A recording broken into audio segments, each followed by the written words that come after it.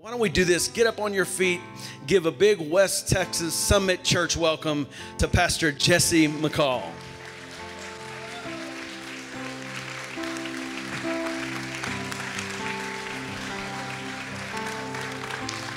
Pastor David, I, I, have always, you know, said this. It's like I think we're family, you know, and uh, that's really what it feels like. And thank you guys so much for the investment that you guys have made uh, over the years into the work of God in Cambodia, uh, into my wife and I personally, into our leaders there, and into the whole team. And uh, just love to bring you a good news report that it's been a, a really good investment and that uh, we're seeing a nation changed. Amen. Thank you again this morning, and uh, so good to uh, be able to just be here. Looking forward to the next four hours of inductive Bible study that we're going to have here. No, I'm just kidding. Uh, sometimes uh, coming uh, coming from Cambodia, where I've been since 1995, and we're not the most sophisticated people there. Uh, I do believe we have kind of the the Book of Acts factor, and I'll, maybe I'll talk about that a bit. Uh, but sometimes coming uh, back to a place like here in Canyon can feel a bit intimidated. Uh, you know, I'm not the most sophisticated person myself either, uh, but I do have a PhD, and that's prayer, healing, and deliverance. So, got that. My wife sometimes thinks it might be permanent head damage, but it's not. No, it's a. but uh, just bring you greetings from uh, our congregation there. And uh, like Pastor David said, my name is Jesse. I'm originally from the States here, originally from uh, Oregon, lived there for the first 17 years of my life. And there's a whole story of kind of what happened at 17 years old.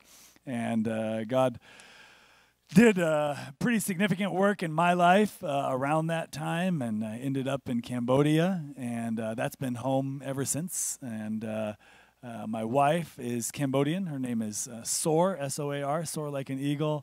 And two kids, Jessica and Josiah. Soar and I have been married 18 years, going on 19 years.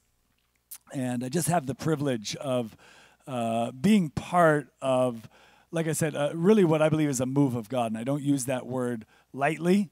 Uh, but but there's a move of God happening in Cambodia, and uh, it's significant.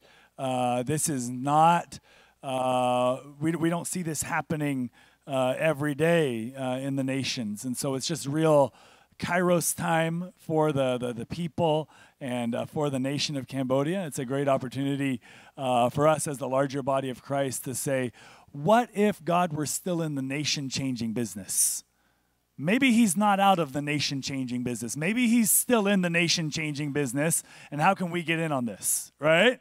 And so uh, that's kind of my paradigm. I've, I've been there since 95 and uh, pastor New Life Fellowship, uh, which is a church in the city. And uh, we have seen, uh, man, I, I can't. T- I can't begin to tell you just you know the stories of people's lives changed and impact in the in the city and impact in the nation. And then out of that church, many years ago, we began planting churches.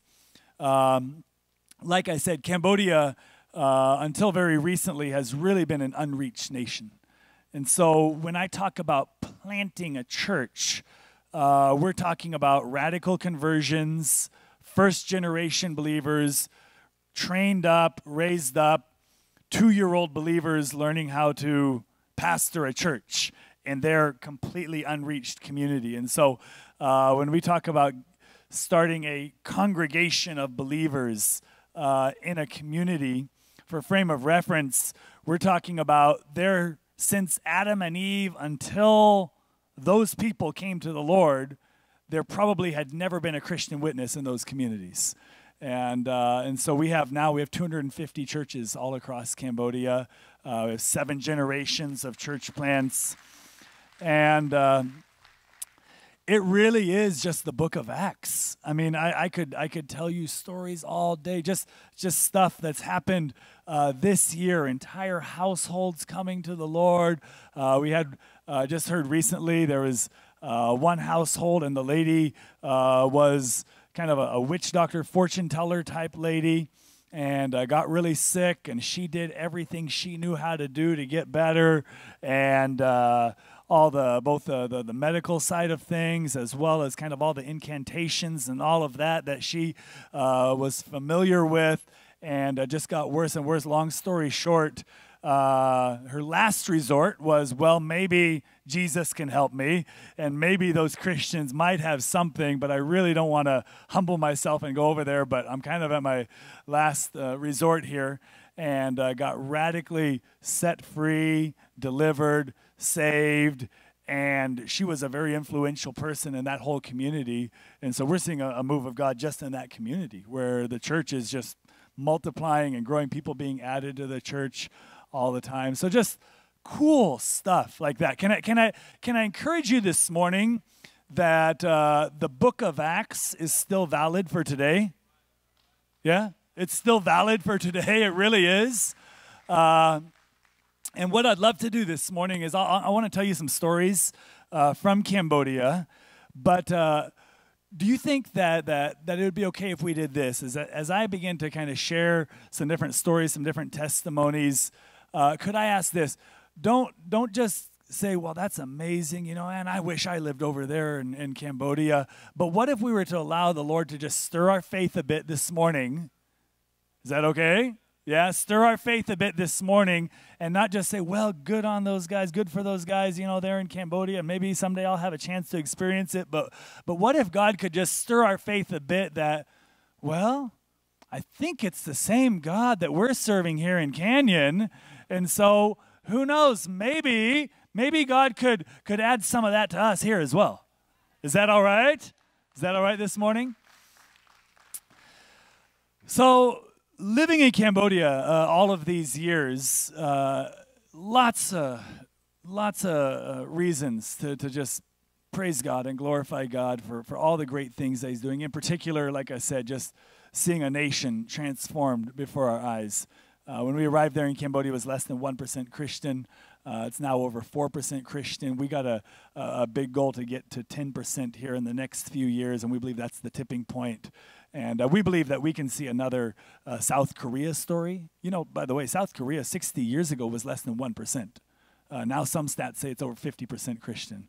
Uh, you know, the largest churches in the world, Young Cho and a million members in his church, you know, are in South Korea that 60 years ago, just a generation ago, were was less than 1% Christian. And so why not Cambodia? Why can't we have another one of those stories in the nation of Cambodia? Uh, and so that's what we're believing for, and uh, lots of good things happening. But here's here's a few things that living in Cambodia all of these years that uh, I think the Lord has kind of helped me, uh, North American kid, moving there to Cambodia to, to be able to pick up of what he's doing there in Cambodia, and uh, some observations, some some lessons learned. Uh, first thing, and you're familiar with the passage in uh, Matthew chapter 18, verse 30. Uh, Jesus is there, and uh, the children are coming to Jesus, and the disciples are trying to shoo him away. And Jesus says, uh, You know what? I don't know. That might be the wrong verse. That's definitely the wrong verse. That's a good verse, too. And uh, I'm sure it's related to something. But you're familiar with the passage, and I may have, I may have sent the wrong verse through when I sent it through. But uh, where Jesus says, Surely I tell you, uh, that no man, no one can enter into the kingdom of God unless he becomes like a little child. You can't enter into the ways of the kingdom living.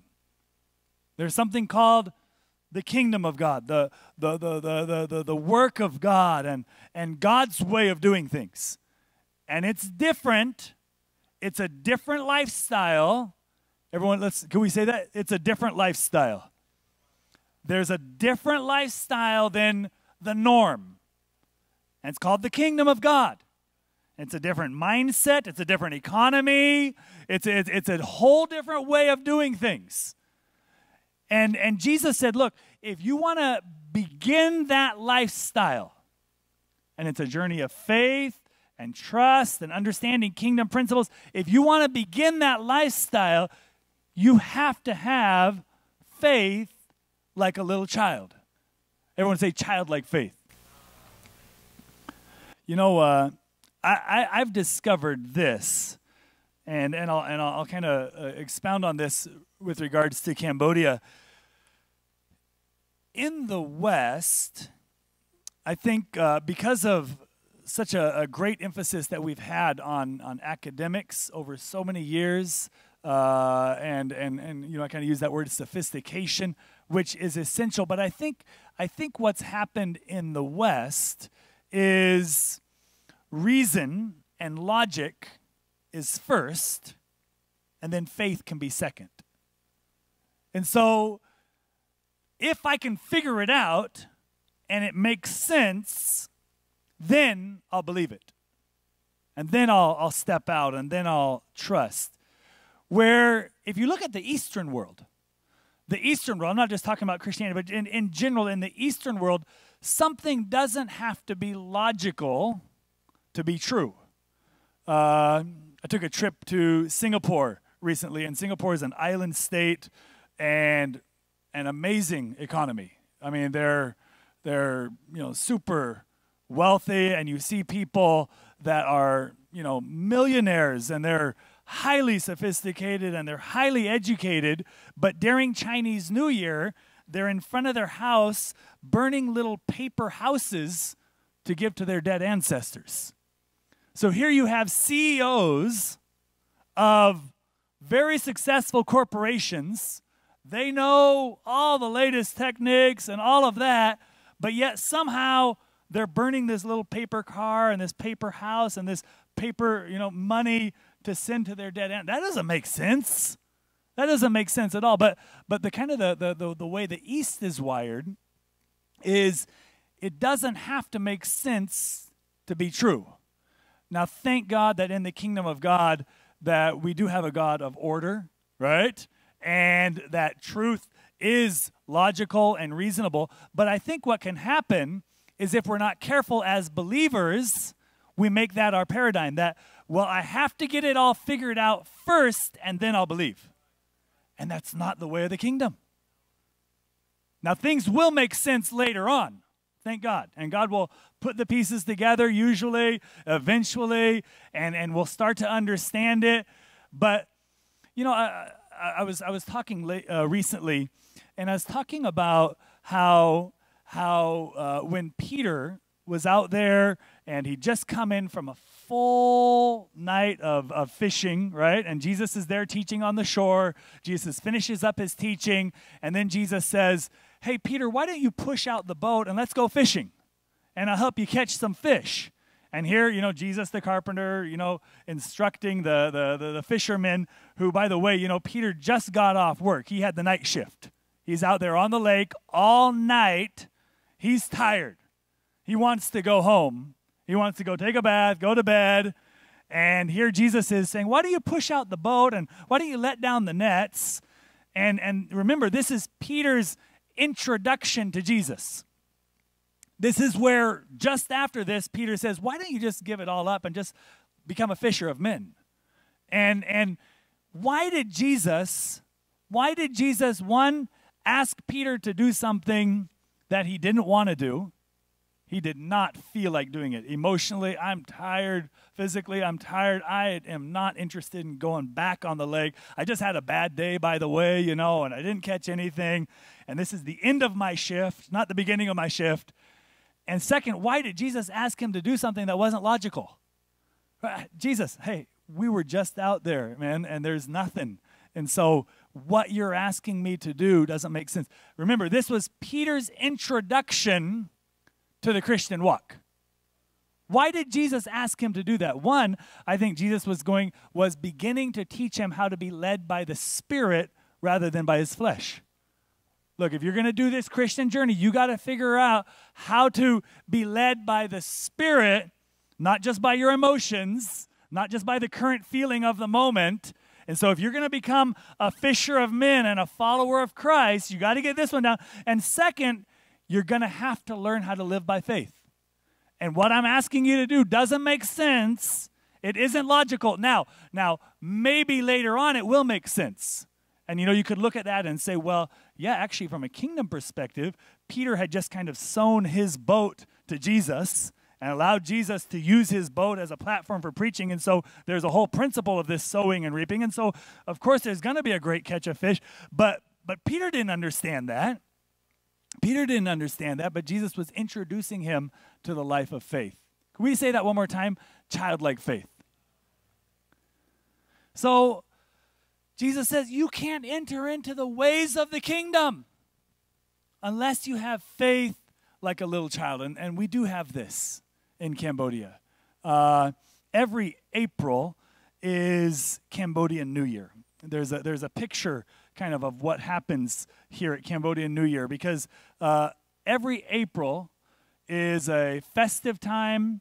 People go back to their hometowns, and uh, it's it's it's kind of a gathering of all the family members and the relatives, but it's also a very spiritual time because Cambodians believe that on the first day, the first morning of Cambodian New Year, which is in the middle of uh, April, it's a three day festivity, they believe that the new angel will come to rule over the country. In fact, the national astrologers based out of the royal palace there, they announce over the news, over the radio, over the TV, and they say, okay, tomorrow morning, April 14th at 6:04 a.m., the new angel's going to arrive. So every household, make sure you prepare your sacrifices. Prepare, yeah, just this right here. Make sure you prepare your sacrifices to welcome the presence of this new angel, this new demonic principality. Prepare these sacrifices to welcome the presence of this spirit into your household. And across the country, across the country, every household is doing this. So, we as believers, and, and with our congregation being first time, first generation believers, uh, it's a it's a it's a time where our hearts really go out to our fellow countrymen and to our loved ones and to our family members because we know that they're going to be welcoming this presence of this demonic principality into their lives and into their homes. And so we've countered that for several years. And uh, the night before the new angel comes and people welcome this new angel, they call it welcoming the new angel. The night before, we have a welcome Holy Spirit service. And uh, it's a good old fashioned Holy Ghost service, uh, but it's also a time of prayer and intercession where we're praying for our loved ones because we know tomorrow morning what they're going to be involved in. And, uh, and so it's a time of praying for the nation, praying for our loved ones. And so several years ago, we were having one of our Welcome Holy Spirit services the night before Cambodian New Year and uh, we had uh, just a great time of prayer. And I kind of opened up the, the, the stage and the mic for anybody that, uh, for that period of time, just wanted to kind of lead us in, in, a, in a session of prayer. And so uh, some different people got up and began to pray for the nation. And a 12 year old girl asked if she could come up and if she could lead a, a session of prayer uh, for the nation. Yeah, come on up. So she comes up and uh, she begins to pray. Father God, we just proclaim that Cambodia belongs to you. Amen. Hallelujah. That's right. And Father, we don't want the presence of this new angel in our nation. That's right. And so, Father God, we just ask that you would just kick it out and never let it come back in Jesus' name. Amen. That's right. Amen. Hallelujah. Well, the next day was the first day of Cambodia New Year when the angel comes. Interestingly enough, the day after that, in the local news, newspapers, radio, media, you could ask a Cambodian about this. And uh, for the first time ever that I know of, and I believe it was the first time ever in Cambodia's history, the national astrologers made an announcement. The day after the angel was to come, they made an announcement and said, we don't know what happened this year, but the new angel didn't come. The new angel didn't come. And that thing, we don't know where it is and why it didn't come, but the new angel didn't come to Cambodia this year. I believe that principality was torn down to the point where even the national, and these are people that are in touch with the spirit world, you know, and they kind of know what's going on there and uh, they said we need to try to re-celebrate Cambodia New Year and add a couple more days of festivities, see if we can get this thing to come. I believe since that point on where people have just been going through the the, the motions, but I believe that thing was torn down, and uh, the, the the the faith, the childlike faith of a little twelve year old girl, that nobody told her you can't pray prayers like that. Who do you think you are? That's too big of a prayer. Why would God answer a prayer of yours like that? That's way too big. Nobody told her that was too big of a prayer. She had some childlike faith. How many here could say, I could use some more childlike faith? Right? More childlike faith. Uh, one of our leaders uh, is uh, named Pastor Mara. And uh, Mara is just an amazing man of God. This is this is Mara here. He's been with us since the very beginning, and uh, Mara, uh, he's an electrician by trade. Several years ago, at uh, our building, we had an electrical short, and uh, we uh, we had this electrical short. We didn't know uh, exactly where the problem was. By the way, the way they do electrical wiring in Cambodia is probably a bit different than here. Uh, and so we just we just did not know where it was. We were trying to look in all the obvious spots, couldn't find it, and uh, the the next step that we were going to have to take was we were literally just going to have to start pulling out of the wire the wires out of the wall, out of the floor, wherever they put them, until we found the short, uh, because the entire top floor of the building had no power, and. Uh, Mara was the, the guy that was kind of in charge of helping us do this, but Mara is a man of faith. Mara is one of those guys that he has that childlike faith. If you were to walk in this morning and you're maybe uh, kind of limping a little bit because you stubbed your toe on the way in, he would come up to you and say, Hey, you know, I noticed you're limping. Is, is everything okay? Well, I just kind of stubbed my toe on the way and I'm sure I'll walk it off. It'll be fine. No, no, no, no. We're going to pray for healing right now. We're going to pray for your toe to be healed right this minute. Well, I'm sure if I walk it off, no, no, no, you're going to get a miracle right now. We're going to believe for your toe to be healed. That's the kind of faith that, that, that Mara has. And so we have this electrical short, no power, whole top floor. The next day, we were going to have to pull out all of the wiring until we could find it. So that night, uh, Mara prayed, God, would you help us with this? Would you help us with this electrical situation? And uh, that night, he had a dream. He had a dream that he went into one of the corners of the church building. He broke open one of the tile floor, floor panels there, and he found the short.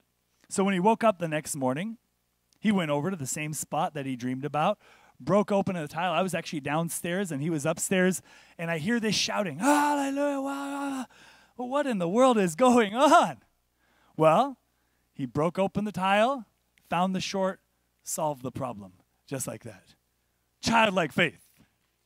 Childlike faith. Again, nobody told him, Mara, come on. You got, you know, you got a good head on your shoulders. You got two hands. Just solve the problem. Why have to bother God with this kind of stuff? You know, God's not interested in that kind of stuff. Nobody told him that. His assumption was, I serve a good God. I serve a big God. He's interested in the big stuff. He's also inter- interested in the small stuff. And so, yeah, I'm going to tap into this and I'm going to anticipate that God's on my side and that He's going to help us out with this. Amen? Is that okay this morning? How many here could say, I need some more childlike faith? Amen. I want to say a couple more things, but we just pray for a moment? Father, we just ask, Father, whatever the barriers, whatever the hindrances would be. Father God, we thank you that there is a, a whole way of living in the kingdom of God that, that is contrary to what we see and contrary to so often what surrounds us, Father. And God, we, we, we all of us here today, myself included, all of us, we haven't tapped into the potential of what kingdom living looks like yet. There's so much more, God. And so, Father God, we just ask, oh God, for just a fresh touch, a fresh renewal of childlike faith, God. Father God, we thank you that we can trust you, Lord. We can trust your ways, Lord. Father God, we thank you that even if we don't understand it all, God, but we can we can trust, We can step out, Father. We can trust your way of doing things, God. And we give you all the glory in Jesus' name. Amen. Amen. Another lesson learned in Cambodia is, uh, you know, when Jesus was in the boat, and or actually he was on the water, and the disciples were on the boat, and uh, Jesus is walking on water towards the disciples, and Peter says, Lord, is that really you? And Jesus said, Yeah, that's me. And so Peter said, Well, Lord, if it's you, would you call me out of the boat? And uh, and we have the, the the, the the amazing story of Peter stepping out of the boat and he's walking on water. And, uh, you know, Peter knew, he knew a bit of physics and he knew that, you know, this isn't supposed to be working this way. And I don't know how, you know, I've grown up on the water and I know the difference between solid and liquid. And uh, I'm not sure how this is going to work. But man, Jesus, if this is you, why don't you call me out to do something that I don't have completely figured out, but I'd love to do it? And uh, he steps out and begins to, to walk on water. Uh, this is what I've seen in Cambodia. And I believe that this is part of just kingdom living is that we don't have to have all the answers. We don't have to have all the answers, but we can step out on those words from God that God has spoken to us. We don't have to have all the answers. You know, I believe that Peter, he wasn't just walking on water, he was walking on that word of the Lord, where the Lord said, Come and he was walking on that word. And and so oftentimes we have we feel like we have to wait till we have all the answers and to have everything lined up don't we? Yeah we feel like all right let me get all the answers first. And i hey stewardship is good and planning is good. And we got the whole book of proverbs. And we have in particular wise counsel uh, to help us and you know different life decisions and all of that. This is all essential. But it doesn't negate the kingdom lifestyle of, all right, God's spoken, and I don't have it all quite figured out, but I'm going to step out in faith. Several years ago, uh, my wife and I were invited to a birthday party of, uh, an influential man there uh, in the city. And uh, he held his birthday party at a place that they call a beer garden. And uh, there's hundreds of these beer gardens all across the city and uh, I'd never, my wife and I had never been in one. Uh, but this is where he held his birthday party, and so we got there uh, in the evening uh, for this meal and uh, birthday celebration, and my wife and I were shocked because in just this particular beer garden, and there's hundreds of these all across the city, there were probably 80, 90 scantily dressed young women in there waiting for customers to bring them home for the night. And it, it was it was shocking. It was very eye opening uh, for both of us, and uh, you know, and thinking about that this is just one of hundreds of these places all across the city, and and it really it really affected me, and began to think, you know, so so who are these young ladies, and how did they end up in this, you know, and whether they were taken advantage of at some point and then they just felt like well i'm i'm dirty now and i'm no good now and that would be the the mindset of society is that well you're once you're dirty you're dirty for good. And so you might as well just go with go go with the flow. Uh, whether some of them were tricked into it whether some of them they just felt like they had no options uh, and and and and now they're in this lifestyle. And now society says you're no good and you can never be good and so this is your only identity. This is the only thing that you can do. And uh, it affected me so much that I actually uh, switched around what I was ministering on that coming Sunday. And I talked about this type of thing with our church. And I challenged our church. I said, Church, what kind of church are we going to be? Are we going to be a church that can reach these types of people and other types of people that would be considered the outcasts of society? Are we going to be are we going to be a church that knows how to reach people that they don't know the Christian lingo? If they come in here, they don't probably know how to dress, they don't know how to act, they don't know how to talk, but are we going to welcome them in? Are we going to tell them that there's a group of people that loves them, us, the church, and there's a God that loves them, and there's a way out, and the way out, his name is Jesus. And, uh, you know, I just challenge the church that we got to be that kind of church. After the service, a young lady came up and talked to me and my wife. Her name is uh, Soledad. And uh, I think I have a picture of Soledad, not this picture here. This is uh, another picture. Uh, I think she's there we are, Soledad with her husband and two kids. Uh, Soledad uh, is from a farmer's family in the countryside, and uh, no Christians in her family. She moved to the city, uh, came to the Lord at New Life, and uh, ended up living in one of our dormitories. We have a ministry called Next Step Houses, which are dormitories uh, for young people. Got got saved and plugged into the church. And uh, she came and talked to my wife and I after that service. And she said, Pastor, what you shared about is something that's been on my heart. I, I want to figure out how to reach these young ladies. Now, at that time, Soledad was 23, 24 years old, uh, didn't have a college degree. She's working uh, uh in a factory. And uh, what you shared is, is really what's on my heart. And I want to figure out somehow some way how I could be part of reaching these ladies. So we prayed over her, and uh, for the next several months, close to a year, she began to pray, she began to talk, she began to figure out what she could figure out. And uh, a year later, she quit her job and she started a nonprofit called Precious Woman. And uh, Precious Woman is a, non, a Christian nonprofit organization there that uh, they go to the girls in the bars, in the clubs, in the beer gardens, and they tell these girls, look, there's people that love you, that genuinely love you. Those people are called the Christian community in the church. And and there's a God that loves you and, and you may think there's not a way out but there is a way out. And we want to help you if you want out. We have a place for you to stay and we have skills training and we won't judge you. We'll love you and we'll help you out and we'll walk with you. And she has to this day she has helped hundreds and hundreds of young ladies she has a weekly radio program now that she does and uh, so many of these young ladies are plugged into our church now and other churches uh, across the country and uh, she started this great ministry, Precious Woman.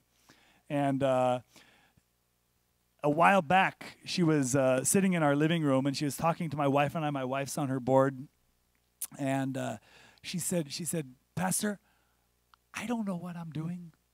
She said, "I've never done this before." she said, "I don't know what I'm doing. I don't know how to do this." She said, "All I know is that God spoke to me." and I stepped out on that word from God. Amen. This is the Christian life. This is the norm. Can, can I say this is the normal Christian life? This isn't actually this isn't the abnormal Christian life. This is the normal Christian life. God speaks, and we get some wise counsel, and you know, especially the wise counsel of leadership in, in, in the church here. Uh, that's essential, and you do what you can do. And then you got to take some steps and you got to step out on those words. What are, what are some of the words that God's spoken to you? What are some of the things that, that God has been speaking to you? And, and maybe there's that kind of hesitancy and that fear factor of, man, I don't have it all figured out. And uh, can I tell you that even in this upcoming season and this upcoming year, God will speak things to you as well. There's going to be things that God will speak, and you may feel intimidated. You may feel a bit uncomfortable, but that's okay. He's a good God. He never leaves us or forsakes us, He's with us. He believes in you more than you believe in yourself. And the normal Christian life is to step out on those words from God. Amen. Is that all right, everyone, this morning? Is that all right? I'd love to just uh, in, encourage you. that You can do it. God is on your side. And those things that He has spoken or those things that He will speak, you can step out. And He is a faithful God. He is a good God. He will guide and direct. And by the way, if, if you make a couple mistakes along the way, don't beat yourself up over it. because I, I, think we have a gracious God that he's, he's, He is so pleased as we're trying to figure out this journey of faith, right? And at least we're trying to hear and trying to be sensitive and trying to go that direction. And if we make a couple little mistakes here and there, He's a good God. He's going to run to us, He's going to pick us up, He's going to clean us up and say, Keep on going. I believe in you, son. I believe in you, daughter. Amen. Final thing in. Uh, Second Corinthians chapter 4 uh, talks about what God has entrusted to us, what God has deposited into our lives, talks about the, the light of the gospel, the light of the life of God that God has put in us. How many, how many have received that, that, that life of God into us? Amen? Isn't He a good God?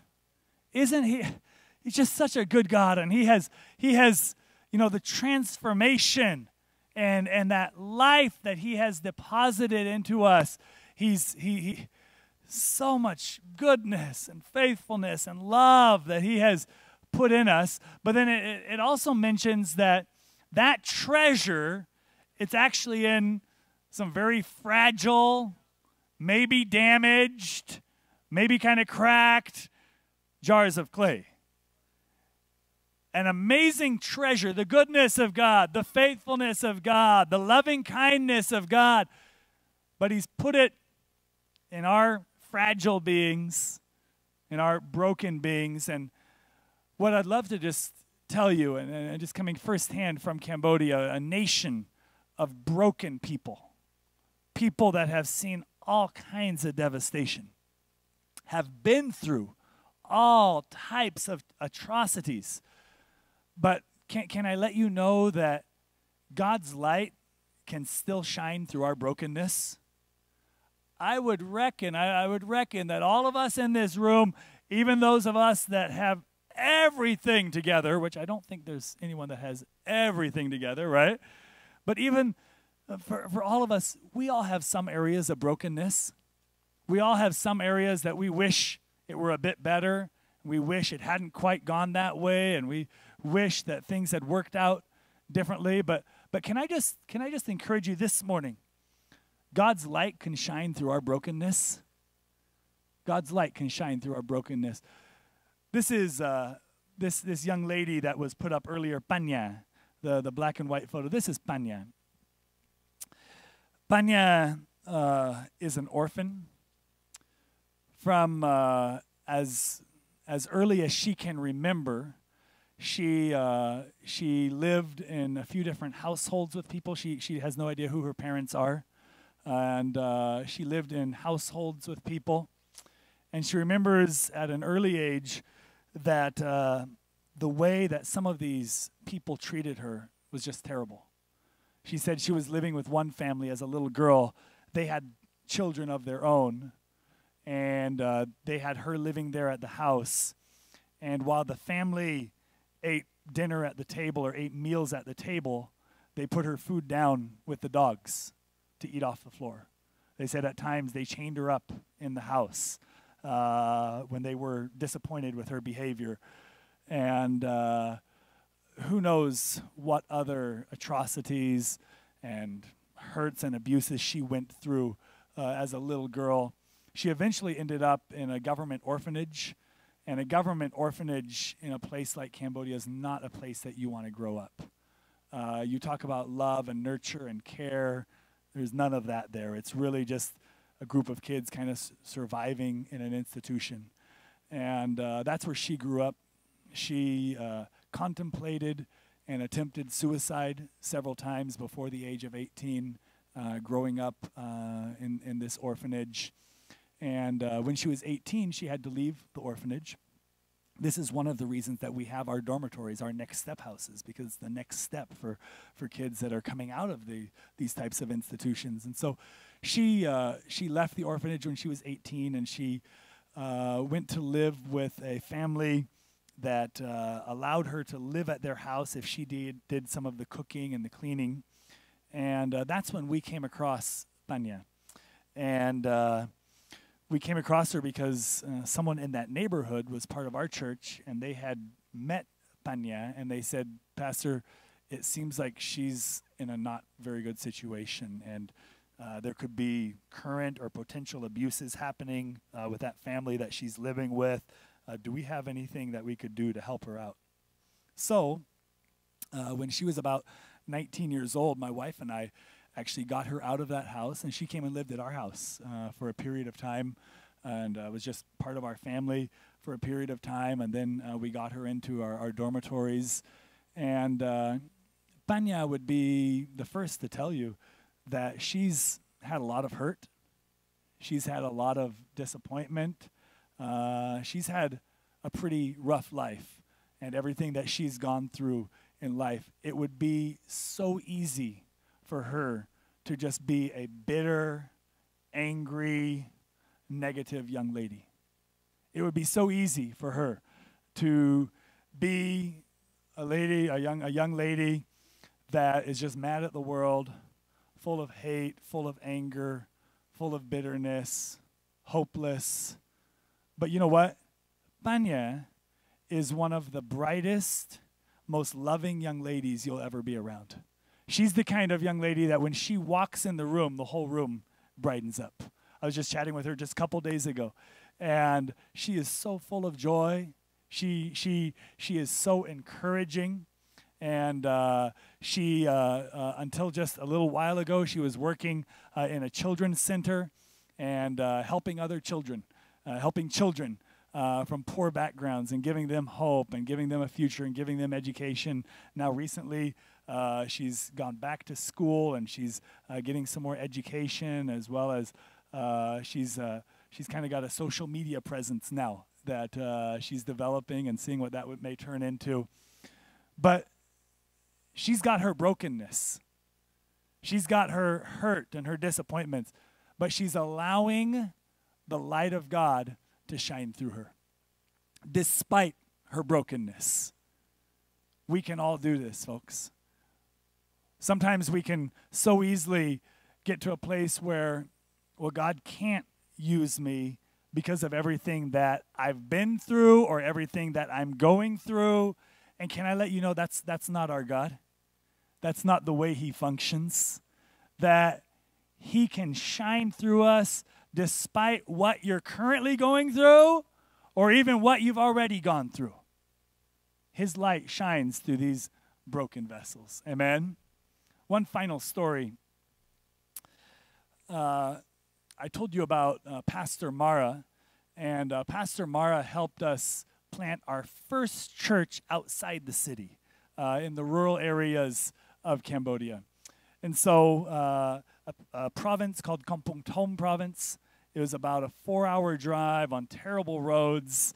And uh, we had just a cool story of how this whole community opened up. And uh, basically, the way the community opened up is a young lady from that community came to the city, got saved in our church, and uh, there's no Christians in her community, no believers in her community. And uh, after being in our church a couple years, she wanted to go back to her village uh, to help out uh, with the family farm there. So we loaded her up with some Bibles, we loaded her up with some tracts, and uh, said, All right, you're going as a missionary because you're the only Christian there. And uh, she went back and she wrote us a letter a couple months later. Uh, it sounded like one of Paul's epistles. Dear brothers and sisters in Christ, grace and peace be with you. And uh, she began to tell us how her dad, who was an alcoholic, uh, had since given up drinking and been completely set free, and how her cousin, who was the village demoniac, the village demon possessed kid tormenting the village, uh, how she cast the demons out of him in the name of Jesus and he was set free. And now all the people in that community really want to know more about this Jesus. Can you guys send help, please? And so So that's how our first church plant outside the city started in one of the rural areas. And so Pastor Mara would go up there, my wife would go up there, and they would drive four hours up every Thursday. Uh, most of the people in the beat up four wheel drive vehicle that we had would get car sick on the way up. And uh, then they'd get there in the village and they'd build relationships and they'd share Jesus, and that turned into Bible studies. And then they'd drive four hours back uh, every Thursday. And Mara was the team leader for that. And uh, there'd be some weeks where he would stay up there on the Thursday evening and he'd catch a taxi back Friday uh, when the rest of the team went back. And it was an area that wasn't that safe back in the late 90s there. And, uh, but he wanted to reach the people that couldn't join the Bible study during the day. He wanted to have kind of a nighttime Bible study with the people there. And so, if you can imagine, you know, hot, humid, bugs, you know, dark, one little light bulb hanging down, and some people sitting on some plastic chairs. And here Mara is, you know, sharing Jesus with people and praying with people and doing these Bible studies with people. And, uh, and, and he's got so many stories to tell. He told me one time, by the way, it's just kind of a funny story. He said he was so exhausted from the day. You know, it's hot, humid, long drive up there.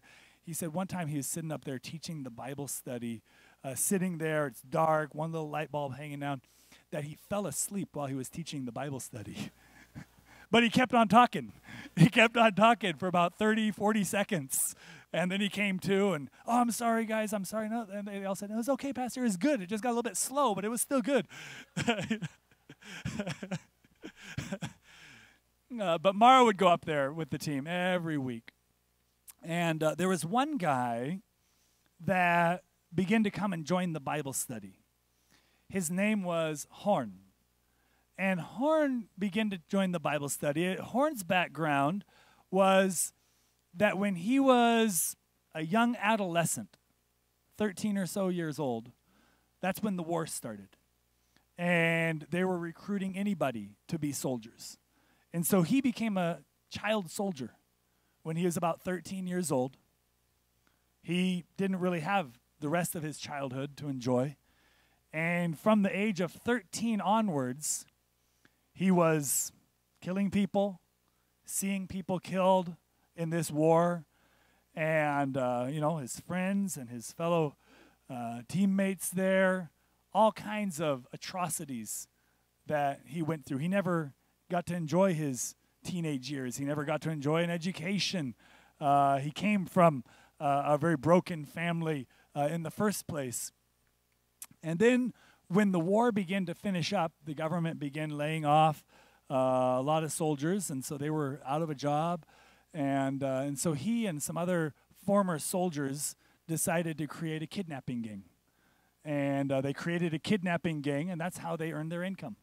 Up in that region, they would kidnap people, hold them for ransom, get the ransom, and then they'd have some money to live off of. And uh, so Horn heard about this Bible study of this guy driving some kind of four wheel drive vehicle up there. Uh, there weren't too many cars back then, and so he must be pretty wealthy if he's driving a vehicle. And I uh, heard he works for some kind of group in Phnom Penh. I'm not sure if it's a, a nonprofit or what it is, but I'm sure they have some money. And so I hear he has these things that he does, these Bible studies in the evenings. I'm going to go and sit in the back watch his movements with the intention of kidnapping him. So here Mara is teaching these Bible studies, and Horn is sitting in the back of these Bible studies week after week, following his movements, looking for an opportunity, creating a plan to kidnap Mara. Mara didn't know this. Mara didn't know who this man was. He was just one of the guys in the Bible study. Well, what ended up happening is that after several weeks of him sitting in this Bible study, following the movements, the message of the gospel got through to him. He ended up giving his life to the Lord, got radically saved. Yeah. Not only that, and this is a picture of Horn. Uh, this is a picture of him. And then this next picture is a picture of him with his family now. Uh, and Horn is one of our pastors up there now. He's pastoring our church up there. He's kidnapping people for Jesus now. and Horn here, he he had a tough life. He had a tough childhood, he had a tough adolescent years, teen years. He could be very disappointed about a lot of things. But you know what? In the community up there where Horn is pastoring his church, he is known as one of the most cheerful, kindest, most friendly people in that whole region. That's how he's built his church. Is he's just known as a loving guy. He's the kind of guy that you can't get around without getting a hug. That's the kind of guy he is. Because he's allowed the light of the goodness of God, the love of God, faithfulness of God to shine through him despite all of his brokenness. Amen. Amen.